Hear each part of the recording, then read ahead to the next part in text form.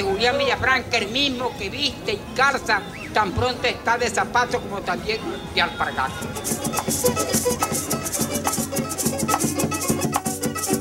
La, la, la, Las mujeres de hoy en día dicen que no se enamoran.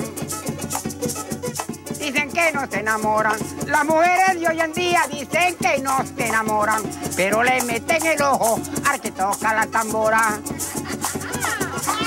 Toca la tambora. Las mujeres de hoy en día, de hoy en día dicen que no se enamora, se enamora, pero le meten el ojo, sí caramba, al que toca la tambora, pero le meten el ojo al que toca la tambora. Bueno, cuando era muchacho era más joven que ahorita y eh, componía mejor que ahorita, porque yo compuse por primera vez en mi vida Artificios sobre las Torres del Viento, que era una cosa que, que, habla de la mitología, que cosas que son que no son legales, pues. Y ahí está, tú puedes buscar en el índice que aparece. Dice, aquel autor soberano de mi verdadero Dios hizo formar con su voz lo que nosotros con su mano.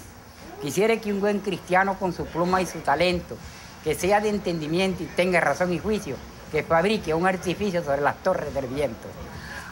El viento tiene torre. Esas son las cosas que... que, ¿Y qué edad tenías tú Tenía 18 años. ¿Y de dónde te nació escribir esa Por, así que yo, que, que yo escribía porque a mí me nacía eso de escribir.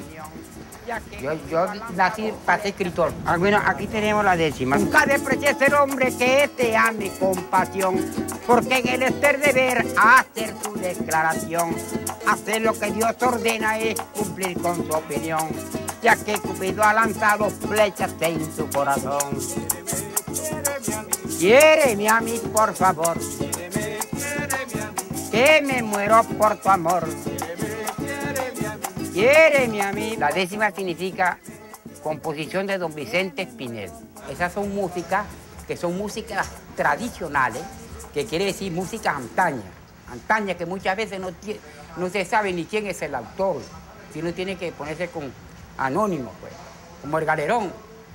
Pero la, la letra del galerón es la misma letra con que se puede cantar las bulías, con la misma letra con que se puede cantar punto, con, con todas esas cosas porque eso lo compuso eh, un hombre en España, porque eso no se llamaba galerón, sino galeón, era el nombre propio de eso, es el propio nombre, porque cuando iban los barcos cargados con tesoros de aquí de América para España y no eran asaltados por piraterías en alta mar, ese que llegaba ileso, ahí se le hacían un fiestón. Y se encargaba de componer la música para esa fiesta don Vicente Espinel.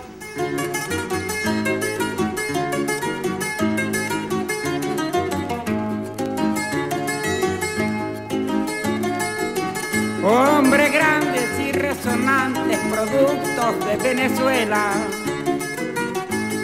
como Bolívar y Sucre y Miranda, es de la bandera. Más cerca de las montañas del Turimiquire, en un valle lleno de caña de azúcar, sembrado de caña de azúcar, conocido como el Valle de Cumanacoa, se dio el mismo fenómeno de la herencia eh, indígena, porque era un pueblo habitado por indígenas llamados cuaca. Y de allá de los cuacas, bueno, siguieron las costumbres. Hay un personaje que algo tiene de cuaca, pero mucho tiene de español, que se llama José Julián Villafranca. Villafranca tiene otro apellido además. Montitruque, porque ahí llegaron unos, ahí llegaron unos franceses y bueno, se mezclaron con la gente del Valle de Cumanacoa. Y él ha sido uno, de los grandes difusores de la música tradicional de esa región. Por el frijol nace el nombre de Cumaná y por el frijol nace el nombre de Cumanacoa. Porque, porque los indios no decían frijol, ahora es que nosotros hablamos de frijol. Ellos decían omaná. Y entonces por esa palabra de omaná sale el nombre de Cumaná. Porque, y allá era fácil sembrarlo porque es arenoso, desertoso, con los tacones de sembraba. Y en Cumana, Coa tiene tres letras más, tres letras. Coa, Cumaná, Coa. ¿Por qué? Porque allá las tierras son barrosas, más duras que las de Cumaná. A se cortaba una madera, se le hacía una puya y eso lo llamaba uno Coa. Son las tres letras más que tiene mi pueblo. Por eso es que es más grande en letra que Cumaná. Armando, ¿cómo estás, Armando? Y aquí estoy yo flaco, pero con manteca. Bueno, esta en mi casa está a la orden de ustedes. Está. Este es mi de rancho aquí. Porque me gusta la agricultura y que jamás la he traicionado. Siempre estoy con ella, siembro mis chacos, ve todas estas cosas aquí. Ve cómo se ve. Aquí hay cambur, hay coco, hay chaco, hay lechosa, aquí hay naranja, aquí hay de toda clase de frutas, mandarina y de todo. Yo siempre acostumbro a limpiar mis matas aquí, cuando las estoy haciéndolas, por ejemplo, yo estas hojas que están mal, yo, yo le, voy, corto las hojas así y las voy limpiando en esta forma. Entonces he hecho yo todo eso que tengo aquí. Pero yo tengo mi hacienda, tenía mi hacienda porque después que murió mi esposa yo la regalé. Yo la regalé a mis hijos. Un terreno que tenía se lo regalé a un criado, un gallinero. Ahí cosechado de todo. Hay chacos, cambures, yuca, de todo cosechaba. Porque era elegante. Pero aquí no. Aquí es para distraerme nada más, para matar tiempo. Y no te fíes mucho de arriba, porque lo que cae arriba son conchas de ajo. Esa mata se llama coco y te puede caer, se está goteando porque, Dios luz que te apagaste. Mi hijo cae tendido en el suelo. Tú sabes lo que lleva un quinazo de allá para acá, ese es como de béisbol chico, que viene para abajo a todos los viajes.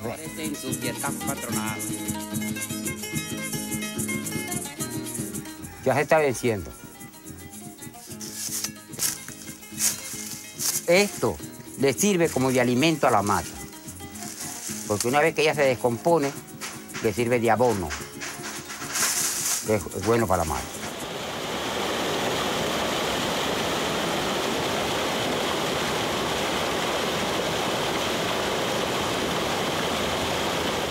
Río Manzanares es este, este pasa por Cumaná, este baja del Turumiquire, este río baja del Turumiquire. Pero este vagabundo es dañino, este ahoga gente que da miedo. Ese es un, un astro para matar gente.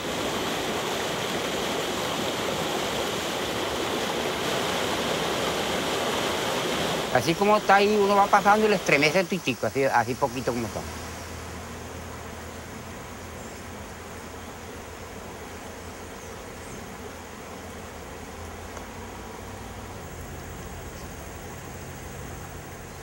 Este es el río más poético que tiene el Estado Sur. Aquí donde se inspiran todos los compositores en ese río. Casi todos los compositores que se comen en el Estado Sur, que, viven en el Estado Sur, siempre tienen al, río Manzanares de por medio en la mente para componerle poesía. Este gran río.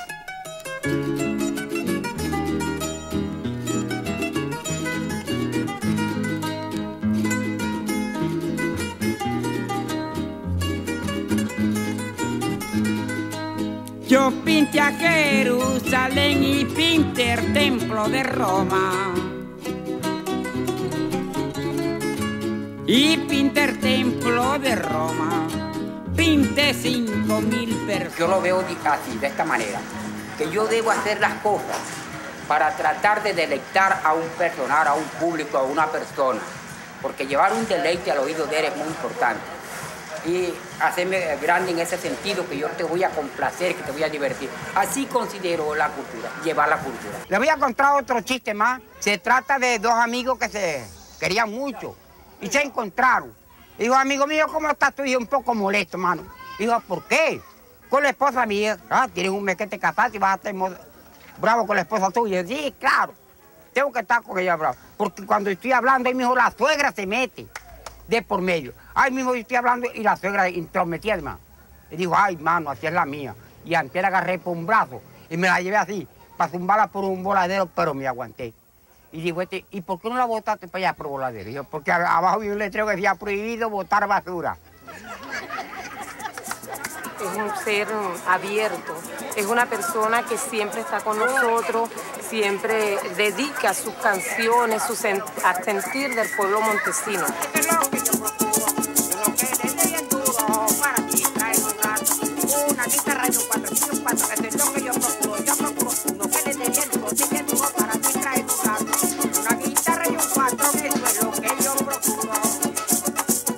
Quien rescata nuestra tradición. Cuando vemos una pargata, cuando vemos un sombrero de cogollo, cuando vemos un, escuchamos un joropo, ahí está José Julián.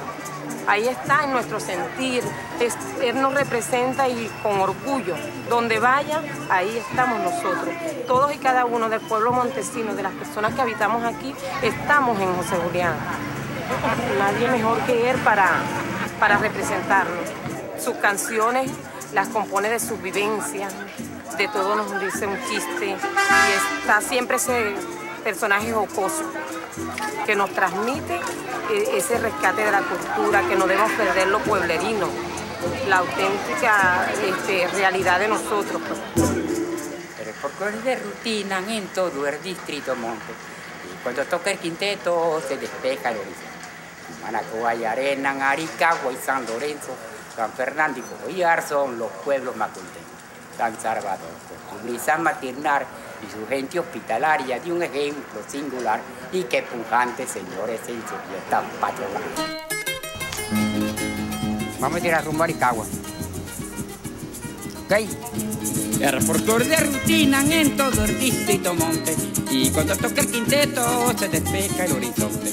El folclore de rutina en todo el distrito monte y cuando toca el quinteto se despeja el horizonte.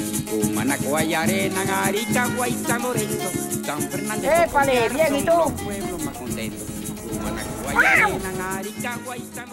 Bueno, aquí fue que usted nació, ¿no? Aquí en la casa vieja. Yo nací en ese vasito ahí. Ah, allá abajo, la otra casa allá. Aquí naciste tú. Aquí nací Y aquí nació Magali. Sí. Aquí nacieron ustedes dos. Oye, tan bueno aquellos tiempos, nosotros que después que comíamos a las, a las 5 de la tarde. Ah, conversaciones que uno ponía, esas instrucciones. Sí, no, y entonces pues, reventamos nosotros con esos joropazos aquí. Sí. Aquí fue donde nosotros nos iniciamos con la música. Aquí. Aquí lo enseñé yo a ir a tocar los primeros notas de cuatro. Aquí, entonces después que nosotros comíamos, nosotros siempre eh, comíamos a las 3 de la tarde, a las 4. ¿Cómo se acaban los tiempos, bendito Dios? Se acaban el 4, se acaban el 4, se ponían a tocar, el tambor era un un tobo, las maracas. Y entonces nos, toda, la, familia nos podíamos, nos, podíamos a, a bailar. Mientras estábamos tocando, nosotros estábamos, bailando. Y a cuenta chistes y esas cosas. Bueno, y cuando nosotros vivíamos aquí, en la casita vieja aquí, este, escuchábamos de noche nosotros las ánimas del purgatorio cuando pasaban por aquí. Fíjate, fíjate tú, que una vez Juliana se levantaba de madrugada y como yo dormía con Juliana, la hermana mía, la que vive en Río del Medio, un día, ve, estaba ella moliendo en la máquina, en el molino, y hacer un encañizo que había aquí. Y yo estoy con ella sentada arriba del fogón. Y cuando apercato, mi hijo, mira, me sacaron una mano, pero que yo parecía un yeso blanquita. Así yo decía, Juliana, esa mujer yo como una bolera buscando ahí quién era que le sacó la mano porque quería que era un hombre que estaba echándole broma, ¿ves? Asustándola para que no se levantara de madrugada. Porque usted sabe que nosotros madrugamos. Bueno, y sucedió esa cuestión ahí. Y yo como gritaba yo esa hora de la madrugada, se levantó papá y todo, esto corriendo. ¿eh? Y yo abrazaba de Juliana porque la mano me asustó, una mano como un yeso, aquello sí, era blanco. Muy temprano. Son cosas muy peligrosas que suceden aquí. Por eso que ya esta es hora de que ya uno, ya son más o menos, como qué hora más o menos. Como las cuatro y media, cuatro y treinta y cinco. Sí, sí, sí son las 4 y 35 minutos y, de la tarde. Y ya esta es una hora ya muy pesada para estar aquí. Sí, ya a esta hora ya... mejor, mejor que vamos a desplegar campamento. Bueno, pues eso está más adelante.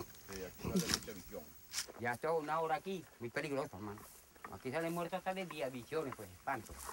Tú sabes lo que nos van a correr, porque yo no puedo correr. Mira, ya las piernas a mí no me dan para estar metido por aquí. Está todo. Porque viejo es viejo aunque se afeite.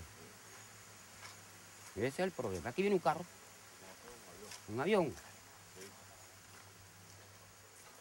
Sigue, sigue caminando. No, no. Vamos a, no vamos a. Si una persona es grande, se hace grande tocando, hay otros que no son grandes y, comienzan a tirar por intriga, intrigarse con él por eso, solamente porque sabe más. Y ahí está lo que pasa. Y te digo francamente, a lo que yo he hecho en esta vida, yo le doy gracias al Señor, a mi Dios, ese Dios grande, Dios de Isaac, de Abraham y de Jacob, de Abraham y de Jacob, porque serán los que me han ayudado. ¿Cómo está el padre? por la trinchera ahorita. ¿No es que estaba muy enfermo? Ya está mejor, gracias a Dios. ¿Qué fue lo que le, le, le dio dengue, dengue. ¿Dengue? Sí.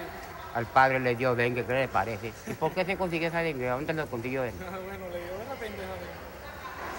En alguna parte tiene que estar que le pegó.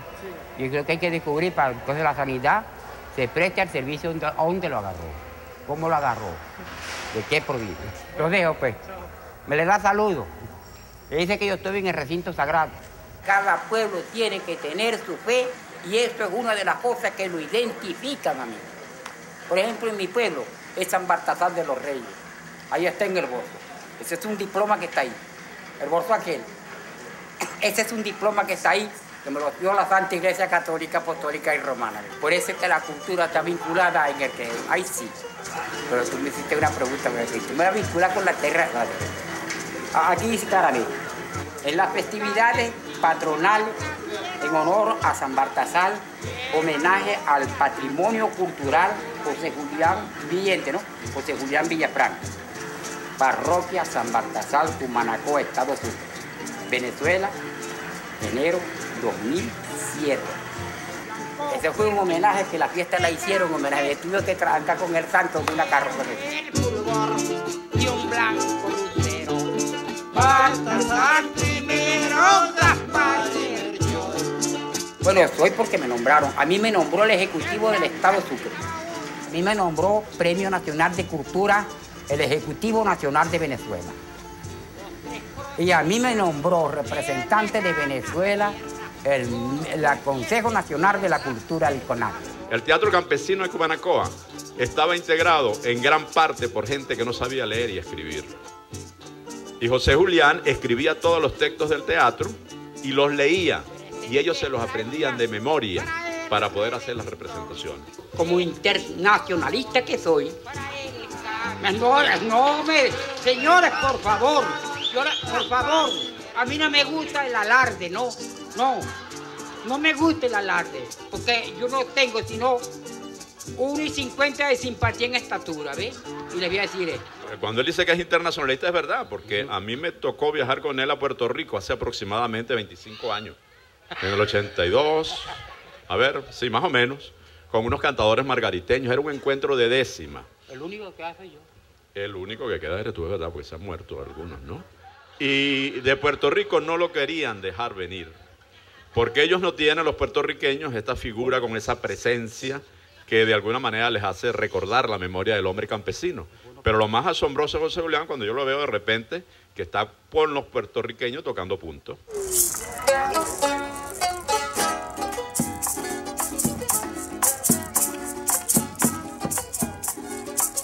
Estando yo en el Caribe, con mi estilo cotorreado, todos quedaban plasmados, oyendo el cante imposible. Porque así es que se describe el cantar cuando es forzoso.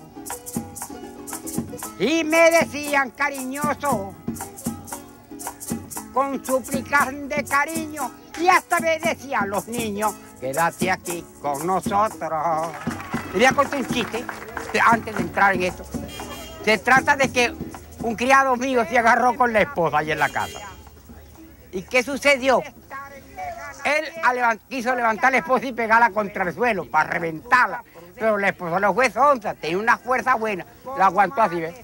Y fue aguantando por la correllera, levanté y, y entonces, ¿qué pasó? Cuando salió caminando, salió caminando así, ¿ves? En el pueblo de Puerto Rico, gente de buenos principios, quédate aquí con nosotros. Él no lo ha dicho, pero él es patrimonio viviente en Sucre, patrimonio viviente en el, en el catálogo del Instituto del Patrimonio Cultural y en un momento, cuando existía el CONAC, le otorgaron el premio al Quinteto Montes y por supuesto a él el Premio Nacional de Cultura Popular Aquiles Nazoa. Esto lo pintó una niña de 13 años. En en Cumaná, en el Yucté. Llamada Carelli. Y me lo donó como regalo. Eso fue cuando yo escribí el libro Cumanacoa, Coloso de Belleza. Pintura tuya, ¿no? Tú mismo la hiciste. Esto solamente, solamente esto. Oye, esto de acá, ah, de acá, todo. Oye, tú ves, así que la persona se hace magistral. Tú estás pintando ahorita, ¿sabes? Yo, si más tarde tú te puedes ganar hasta Miguel Ángel Bonadotti, ¿ves? Que era un gran pintor que fue el que pintó la Sistina en Roma. Bueno, ah, entonces diré a tu maestra que te ayude a, la pintura para ver qué sale de tu cerebro en, es- en esto. Que es importante. Aquí se necesita pintor, aquí se necesita escritor, aquí se necesita de todo en Venezuela. Y te- ustedes son el futuro del país, tienen que hacerlo. Pon- tenga cuidado con eso.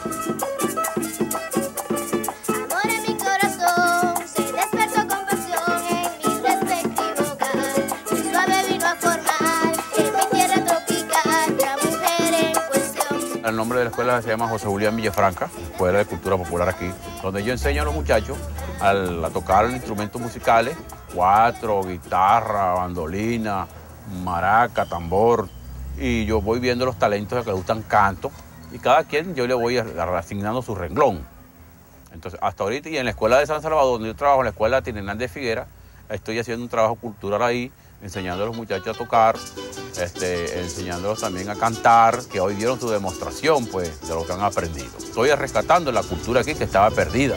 Que estoy blanco pero con manteca. Yo, ¿qué fue, mi trigueño? ¿Cómo está? Y él inmediatamente me dice, aquí estoy, flaco, pero con manteca. Eso le ha causado tanta emoción y tanta cuestión a mi hijo, que él dice que él quiere aprender mucho de José Julián, que él quiere cantar joropo, que él quiere ser como José Julián.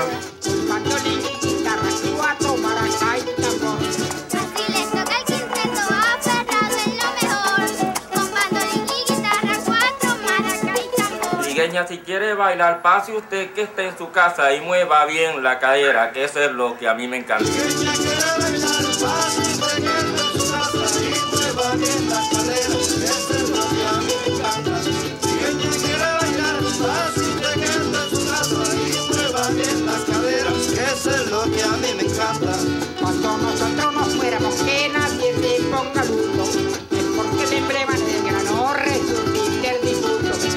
Cuando nosotros nos muéramos, que nadie se ponga. Es porque el emblema negra no resucite el difunto. Si ella quiere bailar, usted que en su casa y mueva bien la cadera. Es esa persona de quien no quisiéramos que nunca muera y sabemos que es así, que aun cuando se vaya físicamente va a estar entre nosotros, porque es el trigueño, es nuestro trigueño.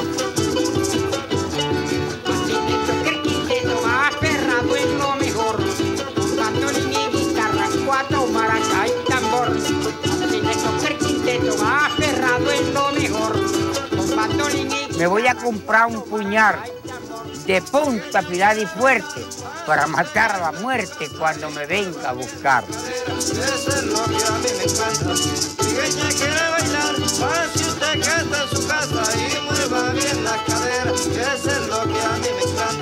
Cuando nosotros nos muéramos, que nadie se ponga luto.